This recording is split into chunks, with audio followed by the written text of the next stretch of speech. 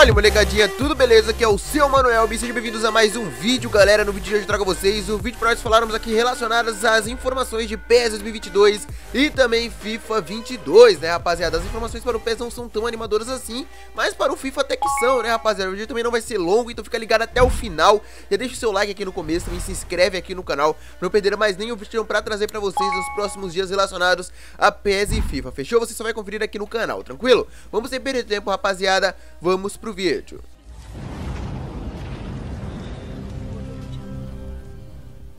Bom, galera, primeiramente vamos começar a falar o que vocês leram no título, né, mano? Relacionado ao FIFA 22, porque o que, que acontece, né, cara? O que, acontece? A partir do dia de hoje, hoje é dia 22 de junho, já tem gente se testando os, o, o game FIFA 22 para o PS5, né, rapaziada? Como vocês estão vendo aí na tela, hoje começam os testes e ele diz no tweet o seguinte, só quero ver se a galera que vai testar vai ficar quieta e não vai vazar nada. Lembrando que nunca vazou nada do playtest do FIFA, mas sendo remoto fica difícil controlar. Período de teste 22 a 27 de junho. Então, basicamente, os testes se iniciam hoje e terminam daqui a 5 dias. Ou seja, no próximo dia 27 de junho, é, vamos dizer que pessoas irão estar testando o FIFA 22. Vamos dizer que eles vão estar testando o jogo fechado, né, rapaziada? Não pode ser vazado nada, nada pode sair à tona em relação à versão final do game, né, rapaziada? Eles estão testando assim, a gameplay do jogo. Então, basicamente, as primeiras pessoas já estão jogando FIFA, né, cara? Então, o FIFA já se encontra basicamente 80, 70% desenvolvido.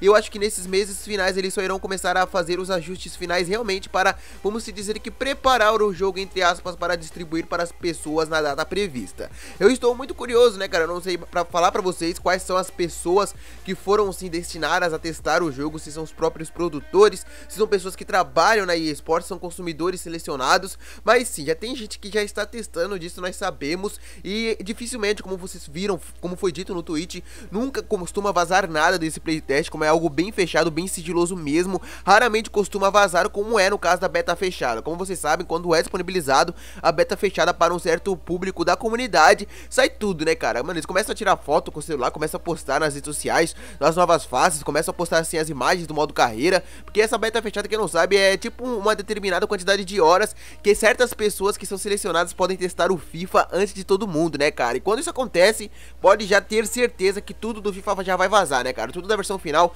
já vai vir à tona, já irão sim, ser postados nas redes sociais, nos, nos portfólios, nos fóruns de FIFA, tudo vai sair, né, cara, à tona, tudo vai vir à tona. Mas agora, quando esse playtest acontece, acontece, raramente temos coisas do tipo desenvolvidas, é, divulgadas, né, rapaziada? Então, infelizmente, é o que deve acontecer. Não devemos ter nada vazado nos próximos dias, mas quem sabe aconteça, né, cara? Quem sabe alguma coisa é vazada e nós podemos sim já ver as nossas primeiras imagens, quem sabe, do FIFA 22, que vai ser algo bem interessante. Eu tô muito curioso, porque até o momento nada foi disponibilizado, nem teaser, nem imagens, nem nada relacionado, né, rapaziada? Então nós não sabemos nem como é que vai ser, como é que serão os gráficos do FIFA. Já tem gente testando, tá ligado? Já tem gente jogando e nós não sabemos absolutamente nada em oficial sobre o game. Nós nem sabemos como é que o jogo será, como é que serão os gráficos, como é que será a jogabilidade.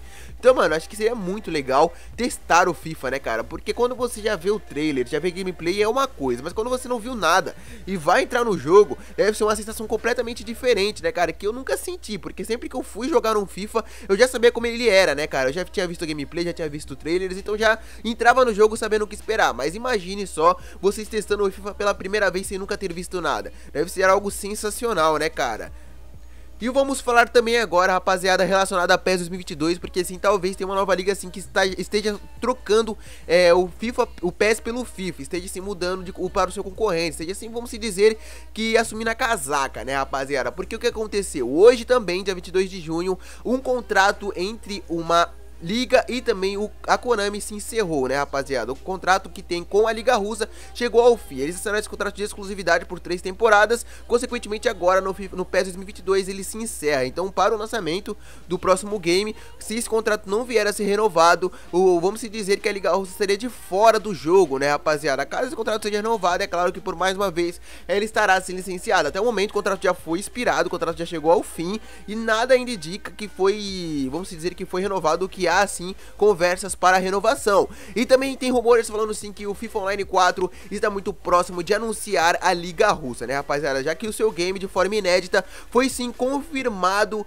para a Rússia, né, cara? Foi confirmado no ter território russo, algo que nunca havia acontecido. Então, segundo algumas pessoas, é só questão de tempo para o FIFA Online 4 anunciar oficialmente a Liga Russa, né? E se isso acontecer, vier a acontecer, como vocês sabem, não é novidade para ninguém, o FIFA Online 4 também pertence a EA Sports, isso dificultaria bem mais com que as negociações com a Konami progredissem. Vamos dizer que pudessem sim ser renovadas, e isso facilitaria bem mais com o contrato de exclusividade fosse assinado com a EA Sports, já que o contrato de exclusividade que tinha com a Konami impossibilitava assim da Liga estar aparecendo no FIFA. Agora sim que esse contrato se expirou e não foi renovado, a EA sim tem caminho aberto, tem caminho livre para poder sim estar negociando com a Liga oficialmente e quem sabe trazê-la de forma exclusiva. Ou seja, de um ano para o outro, a Liga Russa estaria é, de forma exclusiva no PES e estaria indo para o FIFA de um ano para o outro, né, cara? Então isso é realmente algo, mano, bem interessante. Vamos aguardar para ver o que irá acontecer nos próximos dias. Eu não duvido nada, né, cara? Porque a Liga Russa tem, uma, tem fortes equipes, principalmente que disputam anualmente a Champions League, já que a eSports tem o licenciamento desse campeonato, eu acho sim que está vendo com muito bons olhos furar o olho da Konami no próximo ano sim trazer a Liga Russa de forma oficial. Qual é a sua opinião relacionada ao assunto? Você acha que a Liga Russa vai fazer falta no PES ou não vai fazer falta? Ou é só uma liga ali que ninguém usa, né, cara? Deixa aqui nos comentários a sua opinião. Bom, rapaziada, ficando por aqui, lembrando, clica no gostei também, se inscreve no canal, não perder mais nada, até a próxima e falou!